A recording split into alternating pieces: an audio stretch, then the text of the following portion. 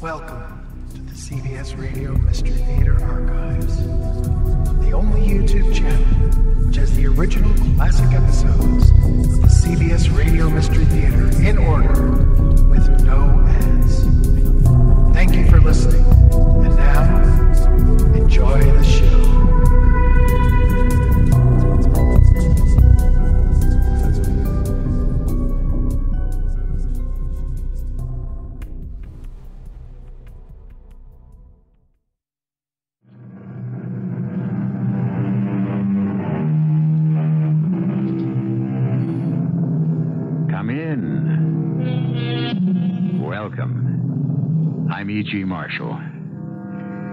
Till death do us part is perhaps the best known phrase of the marriage service.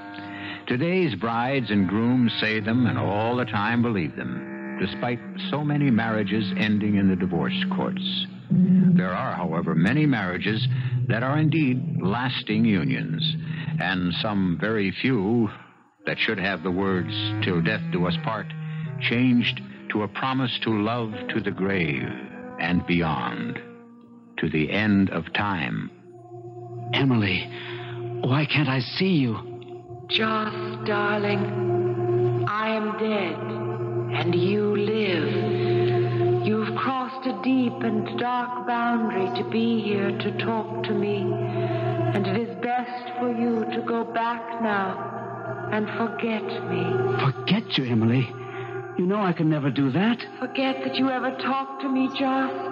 Please, for your sake, if not for mine, learn to leave the dead alone.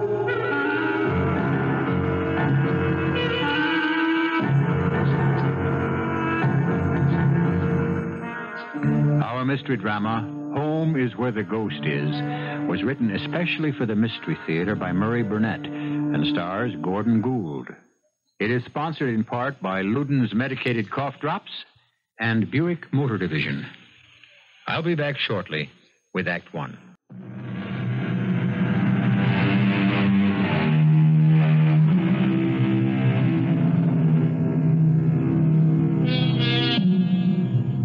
Each of us has a very special place, a favorite retreat. It may be a particular restaurant, or a very special vacation spot, or, in our younger days, perhaps a cave or a treehouse. Ghosts are no exceptions to this rule, and for centuries they have favored castles, old creaky houses, and desolate wind-swept moors. For the most part, the spirit world has avoided college towns, perhaps because they were wary of the boisterous spirits displayed by the student bodies. So it came as a shocking surprise when Neil Fox, the proctor of Calhoun University, was called upon to deal with a ghost. I don't believe in ghosts. What happened at Calhoun during the International Conference of Scientific Observers happened. I admit that, but I wasn't dealing with ghosts. I was dealing with Professor Ramsey Jocelyn, a man whose scientific credentials were, and are, impeccable. And I will leave it to you to decide about the ghosts. It started when an excited and distraught Ramsey phoned me late one afternoon. He sounded so upset that I dropped everything to get over to his house. Oh, Neil, thanks for rushing over. Okay. I hope I didn't inconvenience you too much. No, no, not at all. I just left two FBI men and another agent from some super secret arm of the government sitting in my office, but I'd leave a lot more people than that when I heard the note of panic in your voice. Neil, I had an experience. What? Well, before I tell you about it, I want your word that what I have to say goes no farther than between us. You have my word. All right. First, I want you to open the back door to this house and tell me what you see. Okay. Uh, you coming with me? No, I'll stay here. Well, what am I supposed to see? Just open the door. Well, Well, just what I expected. Your backyard, your garden, and off in the distance, the, uh, Holroyd's house. that's it? Nothing else at all? Yeah. That's it. What did you expect? I don't know. I'm not sure. All I know is that when I opened that same door some time ago, I didn't see the backyard, or the garden, or the Holroyd's house. I saw Emily. Oh. Well, I suppose that's only natural. Only natural. Don't humor me, Neil. You know Emily's been dead three weeks. And I saw her. Wait a minute, wait a minute. You mean you think you saw her? And talked to her. Look, we better go into the den, have a drink, and just uh, talk this thing out, okay? Okay, fair enough. Now, please listen to me and don't interrupt. Try to put yourself in my place. I walked to the door and opened it. And I saw no backyard, but tree shaded walks. And I heard music strange, unearthly music. Joss. Go home. Emily? Emily? Is that you? You shouldn't be here, my love. You mustn't be here in this place. Where am I, Em? What is this place? No place for the living. Return to life. Why can't I see you? Joss, you must stop thinking about me. You must. Why don't you ask me to stop breathing? Oh, my love, I'm not asking you to forget me. I wouldn't ever want you to do that. But you must stop thinking of me as if I were alive. But you are alive to me, Em. You always will be. I can't be, Joss. Please, you must go. For your own sake. Goodbye, Joss. I love you, darling. Goodbye. And that was it, Neil. That was the end. You mean, uh, you came back into the house? No. Before I came back, the place where I'd seen and talked to Emily vanished. And I was in my own backyard, so to speak. Then I came in and phoned you. And now I'm not at all sure I did the right thing. Oh? Why the second thoughts about calling me? Uh, because you're a realist. A hard headed ex police officer who knows there are not such things as ghosts. And who's probably thinking right now, poor old Joss. He's on his way to the funny farm, beginning to see things. Even though you won't come right out and say it. Oh, Ramsey, you're so wrong. Would you be surprised if I told you that I've been expecting something like this? Expecting me to see and talk with Emily? No, no, I won't be that specific, but I know how close you and Emily were, and I know how badly her death hit you. But you haven't shown it. You've been holding your grief in too tightly, Joss, hugging it to yourself, and it was inevitable that there'd be some reaction, and this. Well, I think this is all it was. You make everything sound plausible.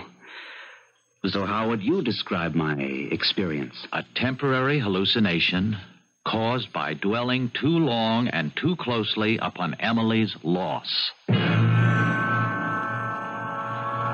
Couldn't overcome a deep feeling of anxiety about my old friend and the role he was slated to play in the upcoming International Conference of Scientific Observers. I was also concerned about my own course. How was I going to reconcile telling the truth to my house guest, Nick James, and at the same time keep my vow of secrecy to Jocelyn? I still didn't have the answer by the time I reached home and found Nick waiting for me. As usual, he wasted no time. Okay, what's the scoop with Jocelyn? Well, look, now, it's not what you were worried about. He's upset about his wife. His wife's dead, Fox. What's bothering him? Just that. He wishes she were alive. Well, how badly does he wish it? It's hard to say. Well, we'd better be able to say. The whole Alexei Vergoda operation hangs on Jocelyn. If he's not stable, Vergoda isn't going to think of defecting. So far, your outfit is the only one who's even heard about Vergoda's desire to defect. Our information is correct. Look, Vergoda and Joss have been corresponding for years. Why wouldn't Vergoda have dropped him a hint? You're being naive. With a man as important as Alexei Vergoda, the slightest trace of anything that whispered of disaffection, and he wouldn't have been allowed to come to this conference. Yeah, but he must have told someone he was fed up because you people heard about it. Vergoda wants out, and we want to help him. We believe that Vergoda will use Ramsey Jocelyn as a contact when he gets here. And as of this minute, I'm worried about Ramsey Jocelyn flipping his lid. Oh, come on, Nick. I, I think you're overreacting. Oh, you'll see some real overreaction if this operation gets fouled up. With all the men you've got out here, I don't understand why you say the whole operation hangs on Jocelyn. Well, our information says Vergoda is going to contact Jocelyn because he trusts him. Now, will you guarantee me that he's going to stay normal until this conference is over? Guarantee? No one can guarantee that anyone will even be alive tomorrow. But what I will do is go back and check this whole thing out with Joss. On the way to see Ramsey Jocelyn for the second time that day, I felt vastly better because now I could level with Joss. I shake him out of this preoccupation with the loss of Emily by presenting him with his important role in the proposed defection of Alexei Vergoda. I didn't find out until Joss told me later that at the very time I was on my way to see him, Joss was having another experience. Emily? Emily? I came back. You shouldn't have, Joss. You shouldn't have. Why not? What's the harm in my talking with you? I miss you so. I know how difficult it is for you, Joss, and it saddens me. But, Joss, as long as you're here, Yes? Remember Alexei? Of course. He's coming here to Calhoun, along with a number of other scientific types. And we're going to have a big powwow. I know. You know. Em, tell me, what's it like where you are? I'd like to answer all of your questions, but there are rules, and it's not allowed Why are we talking about Alexei? because he will be important to you. Alexei? Yes. You never really knew Alexei, you know. Well, I met Alexei when you did. We both saw him frequently. We've been friends for years. We still correspond. I know, Joss. Then what are you trying to tell me? Dear Joss, do you remember after our second date? Do you remember what I told you? Of course. You told me that it was part of my charm that I always believed everything anyone told me. And you also said it wasn't very bright of me. That's right, Joss. And you haven't changed. Think about it. This has something to do with Alexei, right? I'd rather say it has something to do with you. Am I really talking to you, Em? Or is this just a trick of my imagination? Is it my longing for you that makes me believe we're having a conversation? Or am I really, honestly talking to you? Oh, you're worrying about the wrong things, Joss. I told you to worry about Alexei. But you haven't told me why. You must stop asking questions because answers are forbidden. By whom?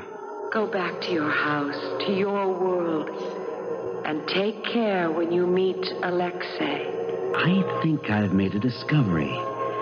If it only depends on my will to have these talks with you, then I intend to have them. No, no, you mustn't. I've told you, you mustn't. Trust me, Joss, and forget me. Then you must give me a reason. Very few mortals can come as far as you have. And having reached this point, you should be able to understand when I tell you that you are permitted only a certain number of visits. Once you pass that number, you can never return to your world. How many visits am I permitted? Emily? Emily, did you hear me? How many? Oh, it's unfair. Don't you see that now I'm worse off than before? Emily? Emily, come back!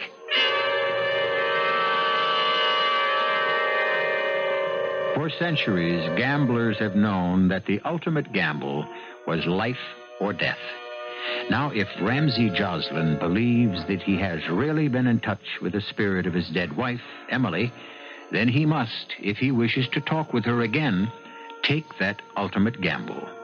On the other hand, there are those who will say that he dreamed the whole thing. Take your choice, and I will return shortly with Act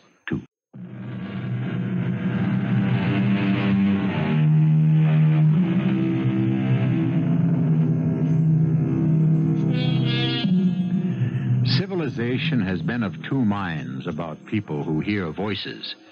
In some ancient cultures, they were enshrined as saints or honored as soothsayers, while in more modern times, some, like Joan of Arc, have been burned at the stake, and others sent to institutions. But the problem becomes complicated when a man who believes he heard the voice of his recently dead wife is not only a scientist and college professor, but also the key figure in the hoped for defection of a top scientist. Ramsey, old friend, my game has improved much since we recently opened a bowling alley in my country. I can see that. And a wonderful thing about the bowling alleys is that the most sophisticated of listening devices are useless here. I take it then you have something to tell me that you don't want overheard. Huh? Have you not been informed? If you're talking about the possibility of your staying in this country after the conference is over, I have heard about it. Ah, what did you hear? And from whom? From the proctor, Neil Fox, a friend of mine. He indicated that there were government agents here on the campus waiting to help you. If you want. Ramsey, I not only want, I need. You scientists will wear me out with the hours you keep.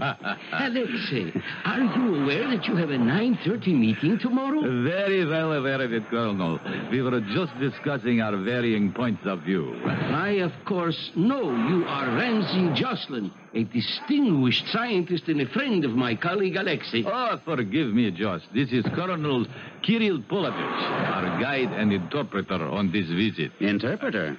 I always thought you spoke such good English. Uh, Alexei is not the only scientist at this conference, Mr. Jocelyn. I apologize for my rudeness, Colonel. Apology accepted. And I will leave you two old friends to your game. Alex, I really don't know what came over me. Oh, not to worry. What you did will work out very well. Now, before we do anything else, may I offer my condolences? Of course. I should have sent something, but I was so shocked. How did it happen? Suddenly. Heart? Cerebral hemorrhage. I didn't. I am sorry. I am sorry, Ramsey. It must be painful for you. Not at all. I have to learn to be able to talk about it. Maybe if I do, it will act as an anesthetic. Dull the pain. Ah, yeah, yeah. And now I come with my small problem. Perhaps You would be. let me help. It will give me something to think about. And also, I want to help. If you made this decision, something spectacular must have occurred to make you change your mind. I remember how fiercely we used to argue about the course of history. Oh, yes, yes. There will be time to explain all that. But now, Ramsey, you must help me. I was told to wait for your approach. And? We'll meet here two nights from now. And I will have a definite schedule for you to follow to safety. Well, we seem to be off to a fairly good start. Yeah, let's hope we're just as happy at the finish. Why? What do you think might derail us? Well, Nick, I don't know that I'd go as far as saying we're going to be derailed, but there are certain problems. And I don't think I can tell you specifically what they are without betraying a confidence. If you know of something that could interfere with us helping Alexei to defect, you owe it to your country to let me know about it. Okay, Nick, no lectures, please. I was the one who clued you in. I didn't have to. It's just that Ramsey is convinced he's been having conversations with Emily. Hmm, So he's finally flipped. No, wait a minute. I don't think he's flipped. Well, then what do you think? You really believe he's talking to a woman who's been dead for a couple of months? Of course not. Nick, haven't you ever had dreams? Are you trying to tell me that Jocelyn dreams he's been talking to his wife? Everybody dreams. No. How about daydreams? What kind of daydream? Well, let's say that you open the back door of your house. Suddenly you're not in your own backyard, but in, uh, well, sort of an Elysian field, and you can hear and talk with your wife. I guess we'll have to get cracking and pray that we can get Alexei Vergoda out before Jocelyn really cracks up. How sure are you that he's cracking up? Nick, have you ever thought that he might just be telling the truth? I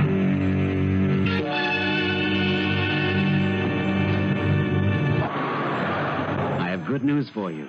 I've spoken to my people, and everything's been arranged. You will never know how grateful I am to you. I promise you, Ramsey, that someday I will repay. Oh, forget it, Alexei. You know I'm happy to do it. When, where, and how? It will be at the Roundabout Inn luncheon when we make our visit to Eden Farm. Aha. That is the day after tomorrow, is it not? It is.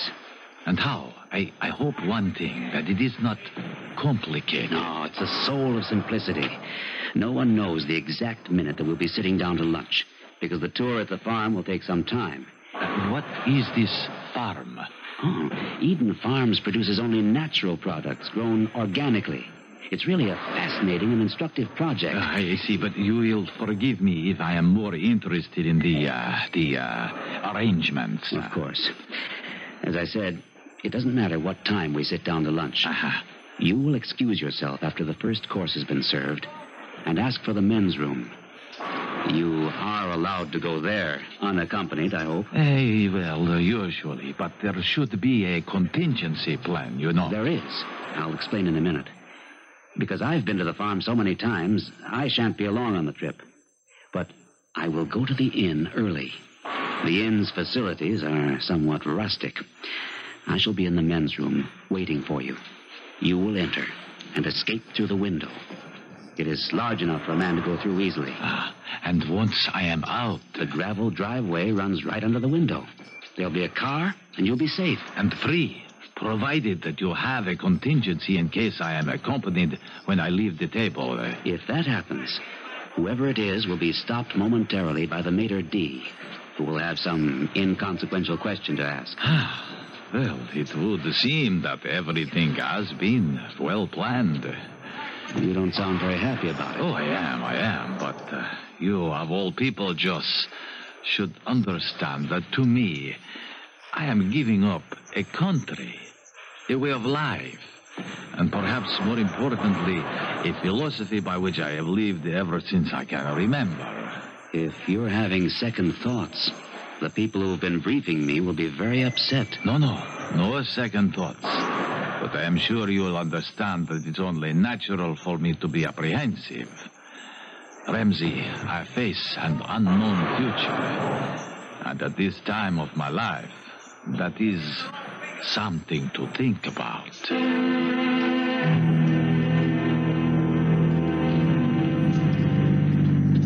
Joss, you're you're quiet today. I'm not used to this cloak and dagger stuff. Uh, neither am I. But at this point, there's nothing for you to worry about. You know what you have to do. You're sure everything's been arranged? Positive.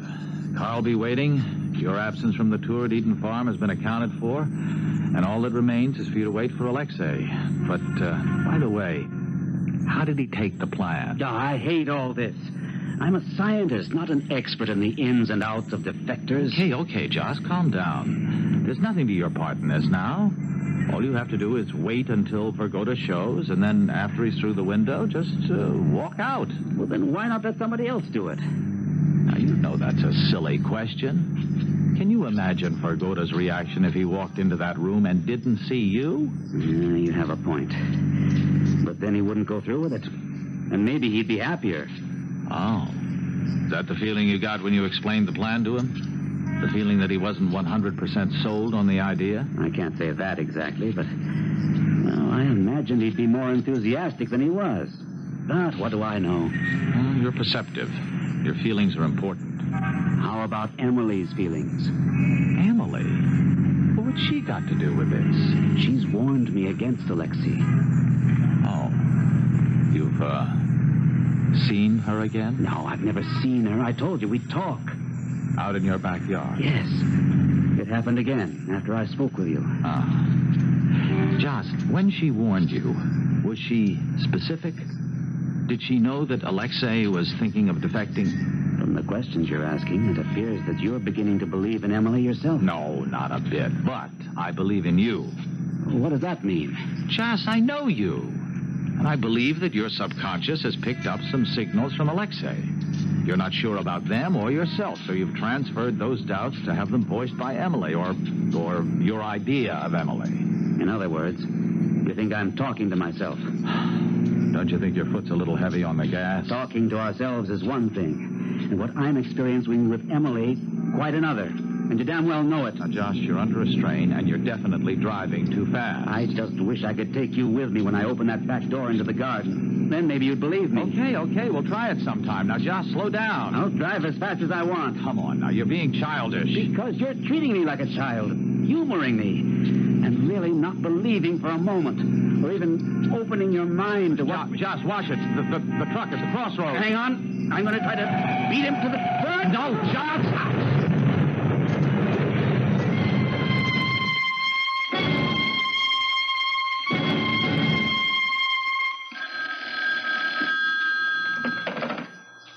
Yes, hello. Neil, I called your house first, but they told me you were still in the hospital. I thought you were supposed to get out today. Oh, I was, and I am. Just waiting for one last x-ray. What time do you think you'll be out? Oh, sometime this afternoon. Anything up? Have you, uh, heard from our friend? Only the usual courtesy call, hoping I wasn't seriously hurt in the crash. He wasn't alone when he called. Hmm. That was to be expected. I was hoping you were out because I wanted to remind you about our promise. What promise? The last thing we were talking about before the accident. Remember? I asked you to accompany me when I walked in my garden. Oh, yes, yes. Ha- have you walked since the accident? No, but I'm most anxious for us both to go. Okay, Ramsey, right. I'll come directly to your house from here. Even before I go home.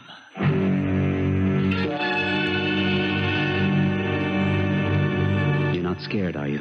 No, of course not, but uh, maybe there has to be some kind of preparation. Like what? Well, like me thinking about Emily, concentrating on her, and you doing the same. I don't see why. I never thought about her before. I mean, made an effort. I just opened the door, and there she was. All right. Go ahead. Open it. I just thought of something. What? Suppose, just suppose that when I open this door, you see the backyard as it was, always, and I see what I've seen before. Then we at least will have some kind of an answer, won't we? I suppose so. Well, here goes.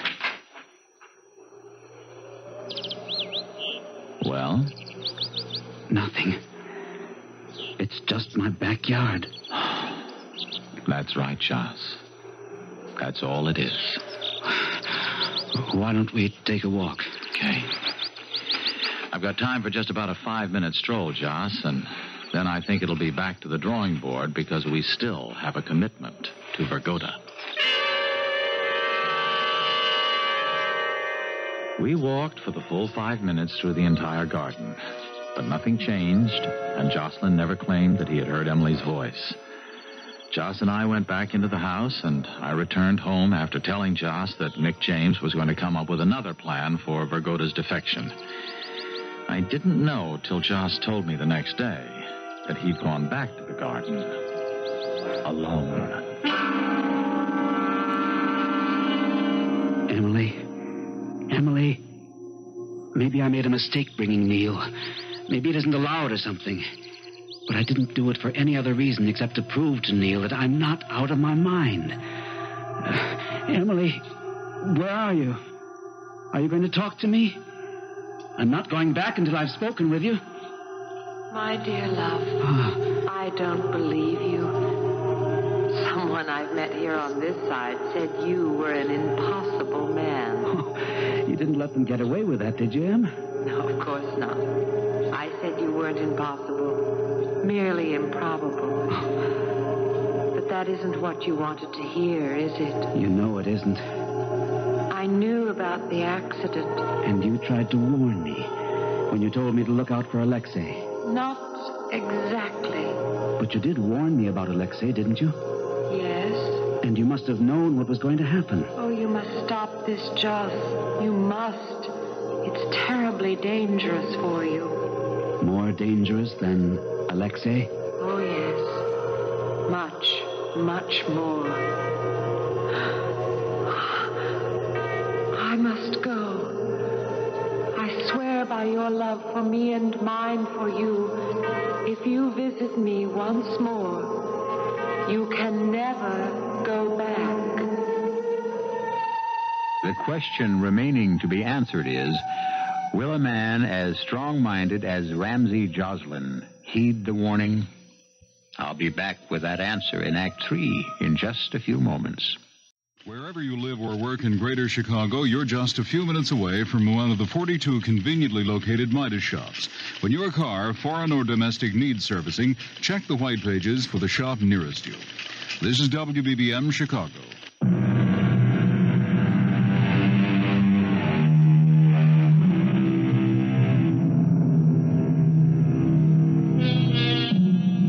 Curtain countries have long been interested in esoteric sciences.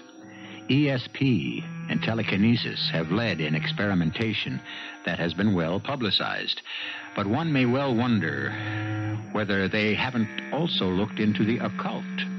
If this were true, as well it might be, then a dissenting scientist who wished to defect wouldn't be too upset to find his contact in the United States engaged in conversation with his dead wife. This opinion, however, isn't shared by the American government agent masterminding the arrangements for the defector. Foul ups. That's what you can expect every time you deal with amateurs. Oh, look, Nick, I don't see how you can blame an automobile accident on the fact that Ramsey Jocelyn is an amateur in espionage. He was driving, wasn't he, Fox? And according to you, he was upset about his wife, and he wasn't paying attention to what he should have been thinking about. One thing only to get to the inn and get Vergoda out of there. Look, the conference ends Friday at 3 p.m. All of the scientists and visitors will be off the campus. We just have to come up with something that's workable between now and 3 p.m. Friday. Well, that gives us just two days. Two days to get a plan. Give it to Jocelyn. Have him contact Vergoda and then carry it off. All right, excuse me for asking what's undoubtedly a stupid question, but what would be wrong with having Vergoda simply walk up to your office and ask to be taken to a U.S. consul for asylum? Nothing. All you have to do is tell me how he can get up here unescorted. And what reason could Vergoda give to come to your office? He'd have to invent something that his people would buy. Okay. All right, what does that leave us with? What we had from the beginning his friendship with Ramsey Jocelyn. At the same time that Nick James was outlining the new plan to me, a meeting was taking place at the dormitory that had been assigned to the visitors. I didn't know it at the time, but it was all too clear before the end of this affair. As you well know, Comrade Vergoda, our superiors don't believe in acts of God. Nor automobile accidents either, eh, Colonel? By whatever names we call it, it is failure, and we both know how they regard failure. There need be no failure here with Jocelyn. We are desperately short of time. Who says that Jocelyn is so important that we must have him? What? Didn't the original suggestion for the kidnapping of Jocelyn come from you? Whether or not Jocelyn is important to us has no bearing on their attitude about me. You agree that I am still a number one priority on their books? Yes, I agree. So, they must renew their efforts to set up another rendezvous. And time also pressures them. I am going to explain to my old friend Jocelyn that I have decided it isn't in the cards for me to be able to defect successfully. Hmm, very clever. Then you expect him to argue with you and try to change your mind. Ah, most certainly. And during that urgent arguing, we will again become very close. And we will talk much more openly about everything, including his experiments. I uh, cannot see any major objections to this proposal. Uh, what is our agenda for today? Well, let me see. Uh, two meetings. The afternoon conference on weather control data is at Goodwin Hall. As I remember, there is a cafeteria at Goodwin. Why don't we lunch there and allow ourselves to be, uh, shall we say, discovered? I think you should know, Alexei, that you never fooled me for a moment. What? Who is that? Emily, the girl you hoped to marry. You always had an underlying streak of treachery, Alexei, and it made you completely unattractive. Is this some trick? Something. No trick, Alexei. But please, remember, you may fool Joss, but you will never fool me. I. This. this oh, this is ridiculous.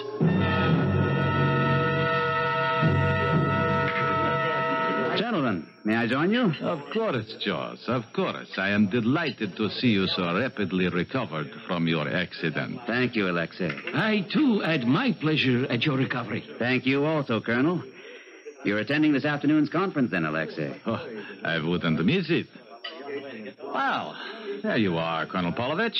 I'm very glad I found you. Yes, Mr. Fox? My office received a threat just about an hour ago. Ordinarily, I would have had the campus police handle it, but this one was partially written in Russian, and so I Of course. You were right. I would like to see it. Uh, it will keep till after you finish your lunch, Colonel. No, no, no, no. I want to look at this immediately. Comrade Vergoda, we will meet later at the conference in the usual seat. Of course.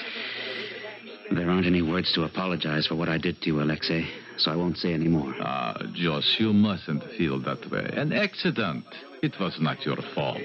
It could have happened to anyone. But it didn't. Do you think I could live with the thought that except for me, you would have been free? Well, uh, it may not have worked. A new plan has been formulated. Ah, well, that is very kind of you, but I do not think that there is enough time. Oh, there's plenty of time. This may be even a better plan than the first. I'm giving you a farewell dinner tomorrow night at my house. Of course, I know that I also have to invite Colonel Polovich. But that is all. Also present will be Neil Fox, the proctor, and a few others, all agents. After dinner is over, you will announce that you are staying. What can the colonel do? Well, I, uh, I do not know. Oh, come on, Alexei. You know as well as I there's nothing he can do. You are tempting me. But if your house is watched too closely, Ramsey, it will only serve to alert Polovich. Not with the threat that he's going to read in Neil's office. That will be the ostensible reason for having agents around the house. Uh, perhaps I was remiss in not notifying you that I had had a change of mind, but I had no way of knowing that you would be preparing another plan. Look, Alexei, you have every reason to believe that somehow I may foul this up again and you would be the one to suffer. But I ask only one thing of you. Be prepared to make a decision when you come to my house for that farewell dinner. So now, Colonel, we go back to the original design. We take Ramsey Jocelyn back with us. But now we have to take him from under the noses of the men who think you are going to defect to them. Ah, they have made a large mistake. Because of the false threat they showed you earlier, you have every right to ask to participate in the security arrangements for the dinner. Hmm. It should be a relatively simple matter to replace their men with ours. Perhaps. But still, I will have to be at the dinner and will have to use uh, um, some uh, force to get Jocelyn away. Ah, yes, a dart gun to incapacitate the agent Nick James. I do not think that the proctor will give us any trouble. And uh, Jocelyn? Well, if necessary, we can drug him as previously planned. Ah, we will go to the dinner and adopt your plan.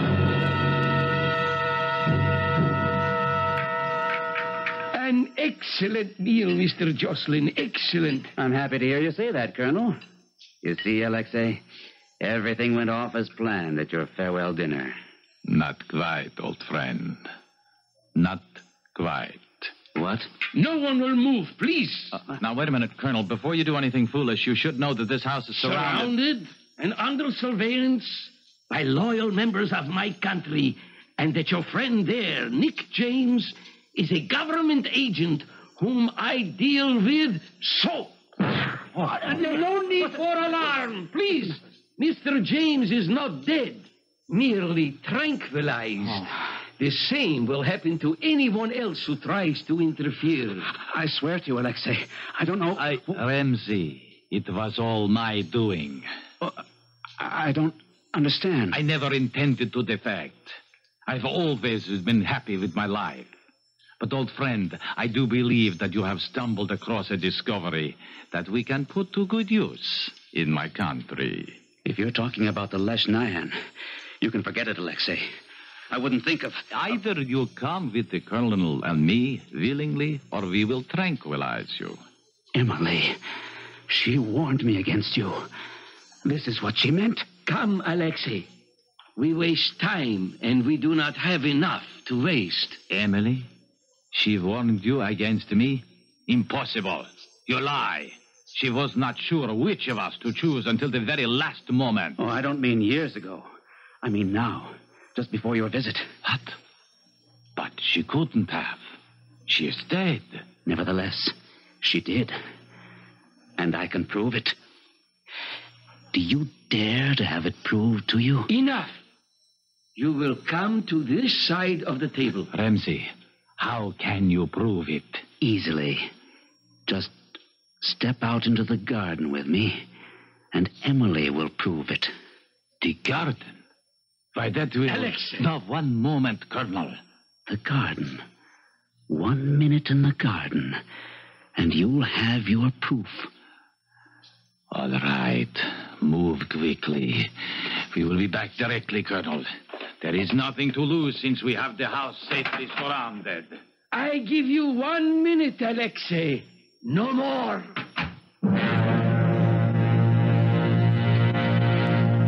The door closed behind them. We waited. One minute passed, then two. And then the colonel ordered us all into the garden. But they had disappeared. Both Ramsey Jocelyn and Alexei Vergoda. Neither was ever seen again.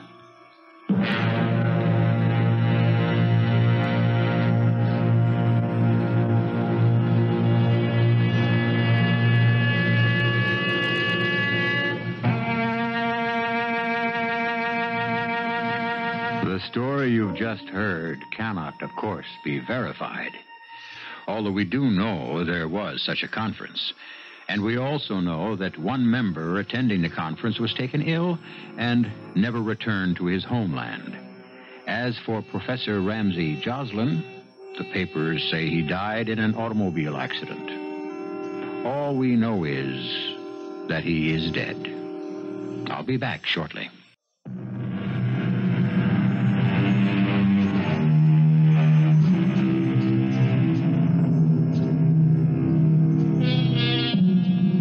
Much has been written about the last frontier, space. And now it seems that we have conquered that. Writers and social planners bemoan the fact that there are no more frontiers for man to cross. But is that really true? The final mystery, death and life after death, still remains as tantalizing, as frightening, and as full of hope as ever. I, for one, will be exploring it right here with you seven times a week. Our cast included Gordon Gould, Patricia Elliott, William Redfield, and Gilbert Mack. The entire production was under the direction of Himan Brown. And now, a preview of our next tale. Look, Steve, she knows what we're doing. Then who do you think told her? You think I told her? That lousy ghost told her, that's who. Well, whoever. She knows. Is she going to blow the whistle? I don't know. I, I, I don't believe she would. I do. I'm her husband, Steve. It's happened before. I think we better make plans. You mean pack the stuff back in the van and forget the whole deal? There ain't a thing that ghost can do to us without Julie's help. He admitted it last night. Steve, I got enough trouble without ghosts. What kind of a plan have you got, huh? The ghost is real. You'll have to take my word for it. But without Julie, he can't do a thing to us. Not one darn thing. So what's the plan, Steve? We got a hole somewhere down here in the cellar with one body already in it. Why not make it two? Radio Mystery Theater was sponsored in part by Buick Motor Division. This is E.G. Marshall inviting you to return to our Mystery Theater for another adventure in the macabre. Until next time, pleasant dreams.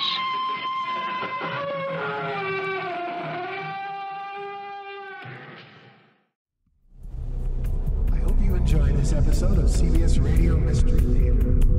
If you've enjoyed this and want to hear more, please subscribe to this channel. You can also visit my other YouTube channel by searching Mr. Brian McCarthy.